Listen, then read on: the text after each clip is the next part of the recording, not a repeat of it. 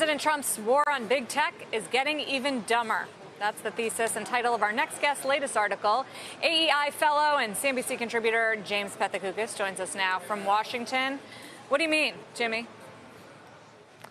Well, listen, uh, the president is now aiding and abetting this sort of, uh, you know, Republican conspiracy theory that the big uh, tech companies, particularly Google and Facebook, uh, also Twitter, are trying to suppress conservative thought by kicking people out, by sort of de-emphasizing their posts.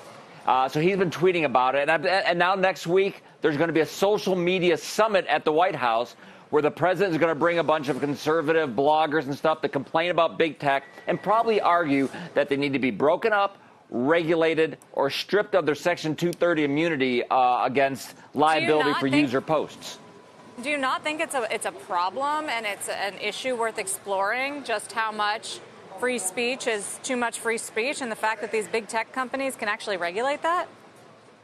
Well, I think it would be interesting if there were any actual evidence that they're suppressing conservatives, but there isn't. And I think before I would go, uh, if I was the president of the United States, and I would go on Twitter or on Facebook and say, wow, these are terrible companies. We need to do something about them. Uh, I think I'd want some actual evidence uh, rather than a bunch of complaining from uh, you, know, you know, people on Twitter or social media who may have been also tweeting some like white supremacist thought. That's what I would think. But Jimmy, isn't that sort of striking at the heart of the matter, which is that there hasn't been a lot of transparency for these big tech companies? It hasn't always been clear how they're regulating their own platforms, or if in the past they've even been regulating their own platforms. I mean, this is this is part of the reason that there's so much regulatory scrutiny on them right now. Anyway, I mean, they have rules in place and they don't always adhere to their own rules. Now, now, now that's where there's like something there, and I think that's actually a good point. Uh, there's a obviously there's a lot of criticism about what are the rules, how they're being implemented. So I certainly think a, a lot more transparency. Uh, and also, you know, giving giving people some some sort of way to challenge these decisions. I think that's great.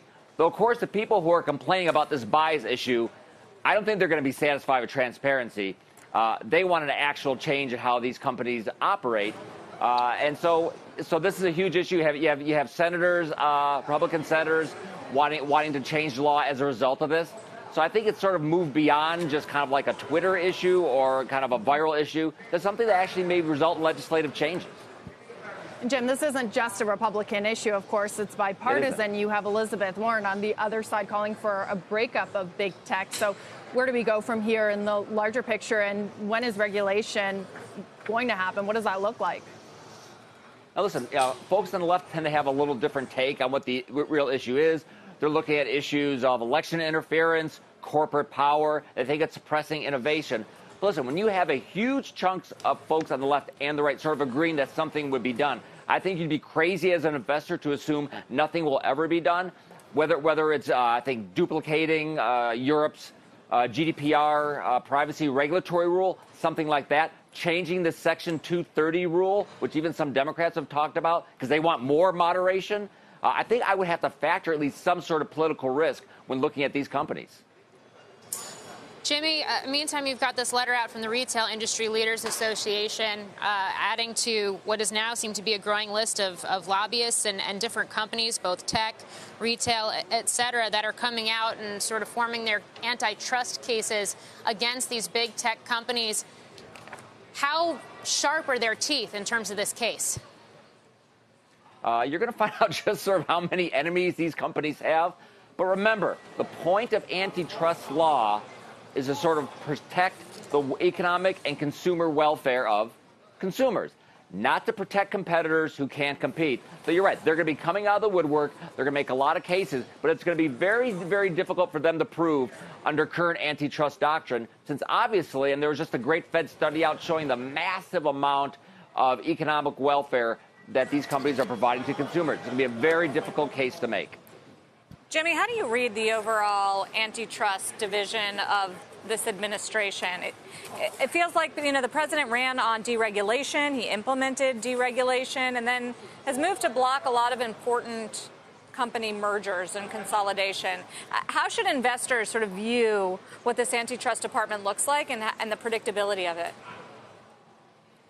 Listen, I, I think uh, I, I, think the, the core doctrine, this core anti, uh, antitrust doctrine, particularly as it you know relates to these technology companies, I think that I think you have all these regulators. They still believe that. They think that's the best way to run their business. Now they're going to now they're to talk a lot more, more about antitrust and investigating these companies, and I'm sure there will be investigations. But I have yet to see really anyone saying that they've been getting it wrong for 30 years and we need to do something different. We need to go back to the way it was in the 1960s, or we need to adopt some of these novel new theories that companies should be broken up purely because they're big or for some other reason. I, I still think we're sort of in that spot where what we've been doing for the past three decades, at least for a while, we're going to continue doing that.